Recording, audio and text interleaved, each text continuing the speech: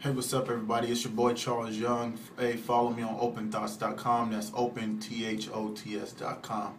Um, check out my new uh, Health for Wealth page. Uh, it's got a lot of good information. I'll keep uploading on there so people can get some quick, fast tips about certain things, certain objects, real quick, fast. Um, nothing too much unless you want to read the articles. All you got to do is just a click away.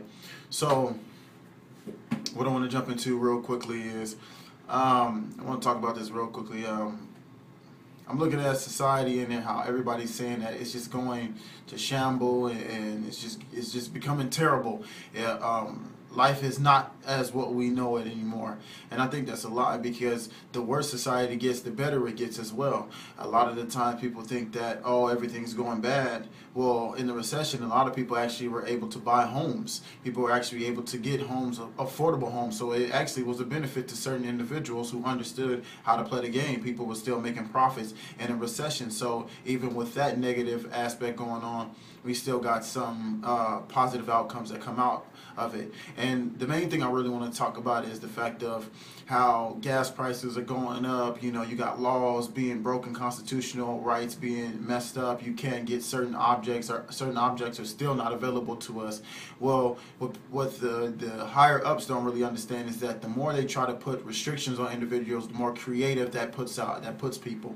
And when you're making people um, um, trying to lock them in a situation where they cannot grow, they'll grow anyway. They'll grow around you. They're just like a tree. You know, you can put a put a situation in front of a tree, and it may it may grow over it. If it's smart enough, it will grow over it. So just like us, people you know look at these situations um i've seen you know i've read books about certain situations where the, they try to limit uh, um, cars only to gas, and they already had electronical cars. They already had cars running on water. People start getting cr- creative. Um, I heard on the, the show Ax Men. I actually actually seen it too. They were making uh, uh, um, diesel trucks and making trucks run out of on, on, wood. So the more they keep trying to limit limit us on our creative ability, the better that we get. I've seen somebody make a bicycle out of wood you know, in in these struck in these jacked up situations that we live in,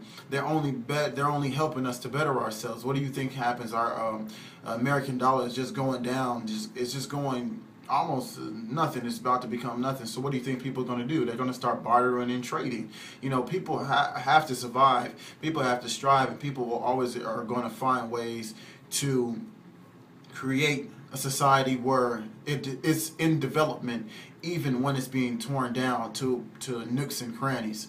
So look at look at look at your resources around you before you start agreeing with everybody oh this is this place is going to shambles look at what's what's the benefit of this. What could you do to make this situation better? You could start trading trading things. You could sell things. People will sell things to you for cheaper because of things because of what they feel society is going on. So stop looking at it such as a negative way. It's just only helping individuals become creative because people are not just going to sit back and watch as their government screws them over. And if the government continuously tries to screw them over, guess what ends up happening? People start revolting. People are start are revolting right now, probably as we speak against some certain laws that's being passed or some situation that's going on. The truth is starting to come out. There's been so many lies on TV now. Now people have to re uh, resort to finding the truth for themselves.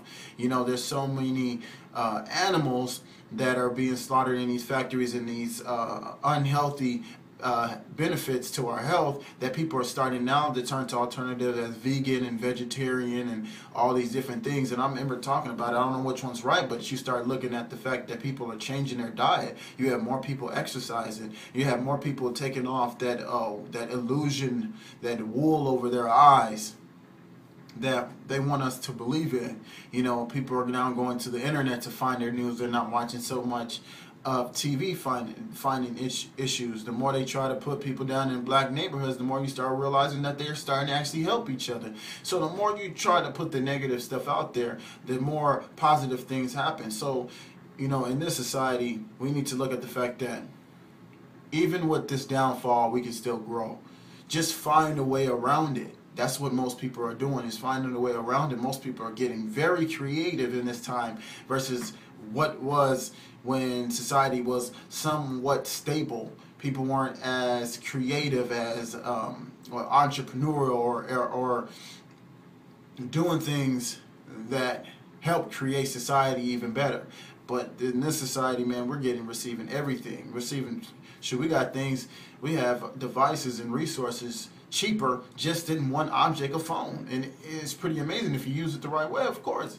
You can use it, man, you can take these phones. We, I, you know, I made, I actually made a music video using a phone and this is just a phone. You know, it's it's amazing when you had to buy all this equipment for certain things, and we did the best we possibly could with the cheapest resources that we had. So we knew that there was no limitation. You know, there's a lot of videos I've done with the smallest resources that I have have right now. So I know there's no limitation to other things. People, the more you keep trying to lock people in to a basically handcuffs, the more they'll find different ways to unlock them.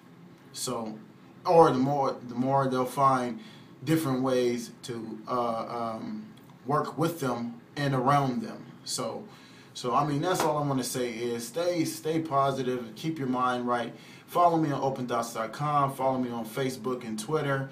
Um, also go to OpenThots.com. That's Open OpenTHOTS.com.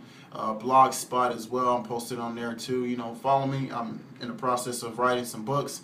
So I got to do my thing, man. So I'm finding ways around with the situation that I'm in. I'm finding creative ways to deal with it and not dwelling on negativity all the time. So I thank you, and y'all have a good one.